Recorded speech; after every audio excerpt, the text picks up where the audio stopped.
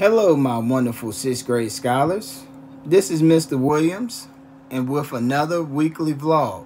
This time we'll be discussing the importance of friendships and social skills. You will find that I've attached a virtual field trip, which I'll explain in just a few moments. As many of you know, positive friendships are a good thing to have, as they help to build our self-esteem, as well as helping us to have someone we can count on and trust in a time of need, which not only help us personally, but can help us transition into the classroom setting and help us academically to boost our confidence. Once we have someone we know we can trust in the classroom, that helps us have the confidence to do that presentation or something like that in the classroom as well. I hope you'll take the time out sometime this week to look at the slides that I have uh, prepared as well, as it highlights some key points of the definition of friendship, along with how we make friendships, as well as some factors for thinking about social skills as well.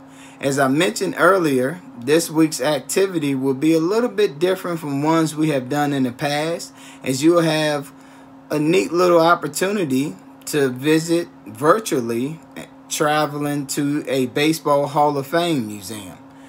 I know some of you might be thinking, what does that have to do with friendship skills, Mr. Williams?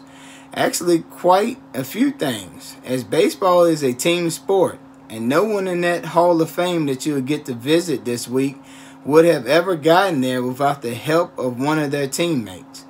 Another reason is that I hope you'll use this as an icebreaker to the to discuss with some of your classmates in the future as some of the photos and artwork in the museum are very informative that I think you'll find interesting.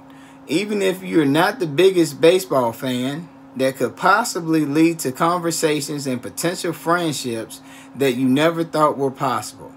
And as always, if you have any questions, problems, or concerns, please do not hesitate to contact me at 434 572 4117 or send me an email. And please have a great week here at HCMS.